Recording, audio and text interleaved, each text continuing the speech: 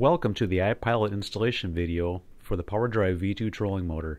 iPilot is designed to be a fairly simple installation and we will walk you through each step in detail. If you have any questions after watching the videos, please call our technical service line at 1-800-227-6433. Before we get started, make sure that your trolling motor is secured properly and that it is in a clean, dry space. Disconnect all power to the trolling motor. This will ensure your safety and protect the electronics that you're about to install. Also make sure that you have the following tools available. Phillips screwdriver, needle nose pliers, and a heat gun or some other heat source for installing heat shrink tubing. If a foot pedal is connected to the trolling motor, it must be disconnected. Once iPilot is installed, the foot pedal cannot be used unless iPilot is completely uninstalled. Now we are ready to get started. First, remove the co-pilot cable from the motor. Next, remove the two mounting screws that hold the co-pilot side plate to the motor. I've already loosened the first screw, and here's the second.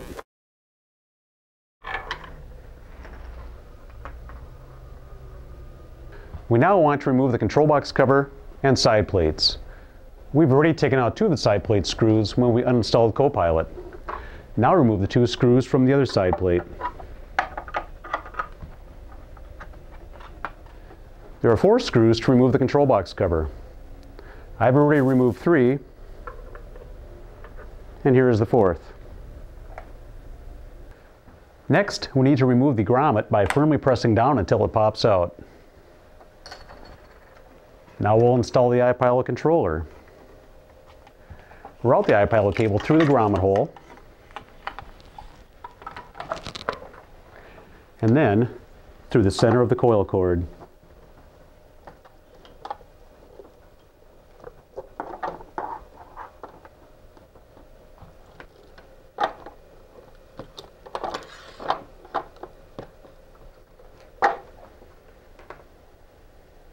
Next, install the new grommet. Position the grommet over the wire, slide it up, and snap it into place. Now secure the iPilot controller using the four screws provided.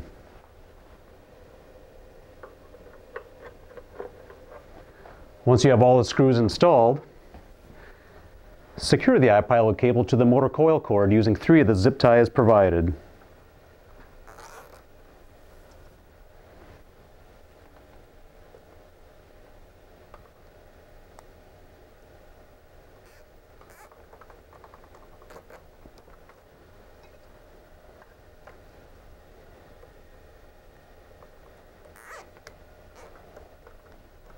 Then trim the zip ties.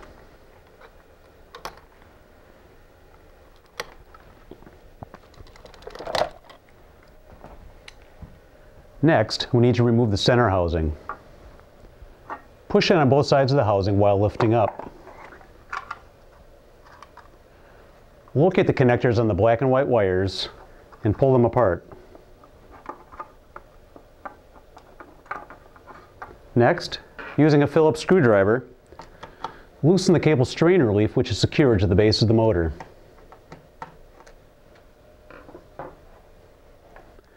Position the iPilot steering cable into the open slot. Then tighten the cable strain relief.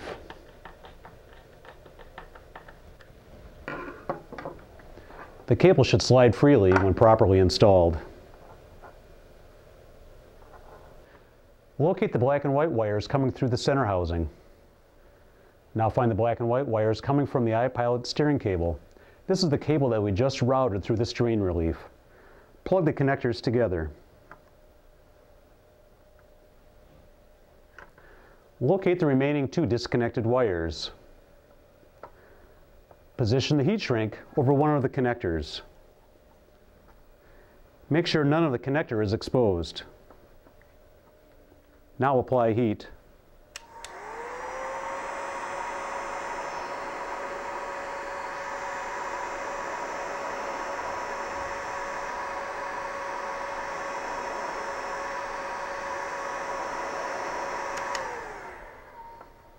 Next, pinch the end of the heat shrink to create a tight seal.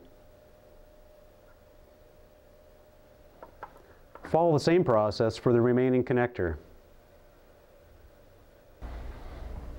Now it's time to reinstall the center housing and side plates. Push the housing down until the side fingers lock into place. Make sure all cables are routed through the exit hole of the housing. Next, reinstall the side plates using a Phillips screwdriver. Use the two new screws provided on the side plate where Copilot was installed.